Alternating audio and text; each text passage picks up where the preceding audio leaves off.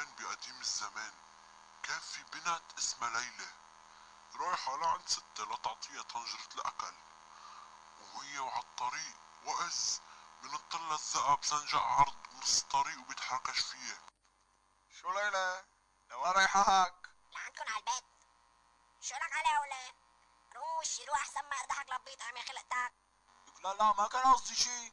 بس عم أشوف إذا كان بدك مساعدة. عرفت علي كيف معلمتي؟ وينك انت طيلكش طنجرة عروسك قبل هلا ما تخليني اكبسك بهالطنجرة اللي معي. طيب طيب أم الليل. ليش معصبة؟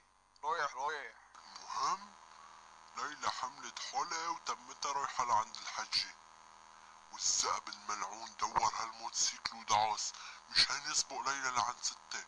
ولما وصل على البيت دق الباب قمت الحجة بسرعة بدون ما تحط لوينات وقلت أكيد هيدي طلعت من النضور تبع الباب استغربت.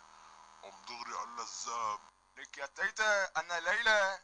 بس دمي كبران شوي وعيوني باظين لقدام ومقرب قصدي مقربة بعيد لعنك الحجة ما أخدته عطت فتحت له شو يا ليلى؟ وين الطنجرة؟ لك أبن ليلى هيدي لك أنا الذئب جاي هيك لك.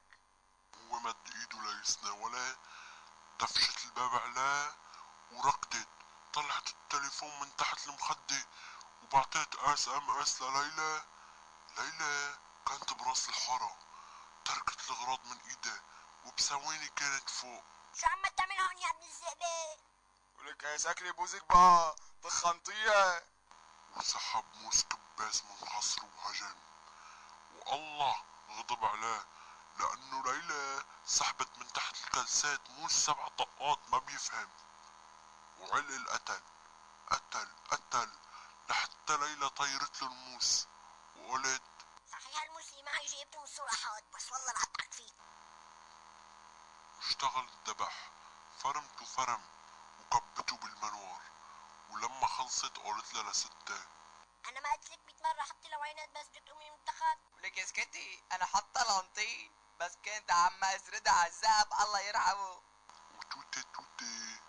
خلصت الحتوتة حلوة ولا منكوتة